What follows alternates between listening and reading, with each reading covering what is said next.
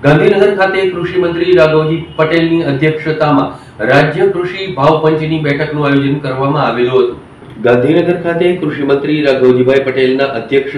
રાજ્ય કૃષિ ભાવ પંચની બેઠક મળેલી હતી. વર્ષ બે હજાર ચોવીસ પચીસ માટે ખરીફ પાકોના ટેકાના ભાવોની ભલામણ કરવા મળેલી આ બેઠકમાં અન્ન અને નાગરિક પુરવઠા મંત્રી કુંવરજીભાઈ બાવળિયા તેમજ કૃષિ રાજ્યમંત્રી બચુભાઈ ખાબડ ઉપસ્થિત રહેલા હતા. કૃષિ મંત્રી રાઘવજી પટેલે જણાવેલું હતું કે ખેડૂતોને તેમની ખેત પેદાશો અને ઉપજના પોષણક્ષમ ભાવ મળી રહે અને ખેડૂતો આર્થિક રીતે સદ્ધર થાય તે માટે ભારત સરકાર દ્વારા દર વર્ષે ટેકાના ભાવે ખરીદી કરવામાં આવે છે અને ખરીફ અને રવિ પાકોની ખરીદી થાય છે. આજે મળેલી રાજ્ય કૃષિ ભાવ પંચની બેઠકમાં પાકવાર ખેતી ખર્ચ, કૃષિ ઇનપુટના ભાવો બાબતે ખેડૂત પ્રતિનિધિઓ અને કૃષિ વિભાગના અધિકારીઓ સાથે વિસ્તૃત ચર્ચા કરવામાં આવેલી હતી.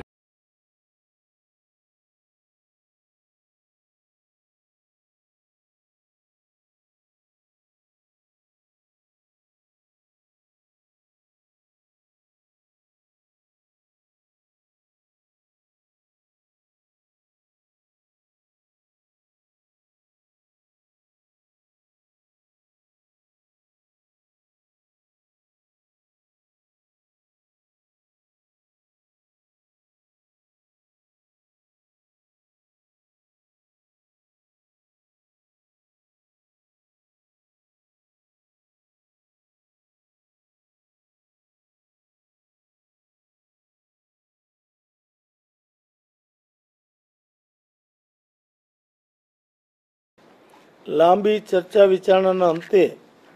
જે રાજ્ય કૃષિ ભાવ પંચે કેન્દ્ર સરકારને બે હજાર ચોવીસ પચીસની ખરીફ ટેકાના ભાવો માટેની જે દરખાસ્ત કરવાની છે, એ આ પ્રમાણે કરી છે. ડાંગરના એક ક્વિન્ટલના અઠ્ઠાવીસો રૂપિયા, બાજરીના તેત્રીસો પચાસ રૂપિયા, જુવારના પંચાવનસો રૂપિયા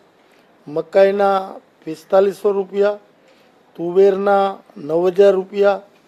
મગના પંચાણુંસો રૂપિયા, અડદના બાણુંસો પચાસ રૂપિયા,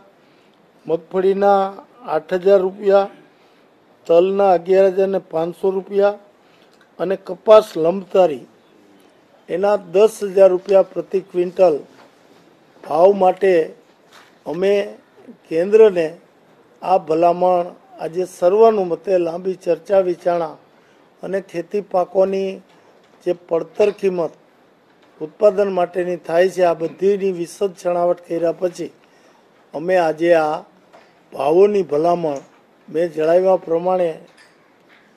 વિગતે અમે આજે કેન્દ્ર સરકારને મોકલવાનું સર્વાનુમતે નક્કી કર્યું છે.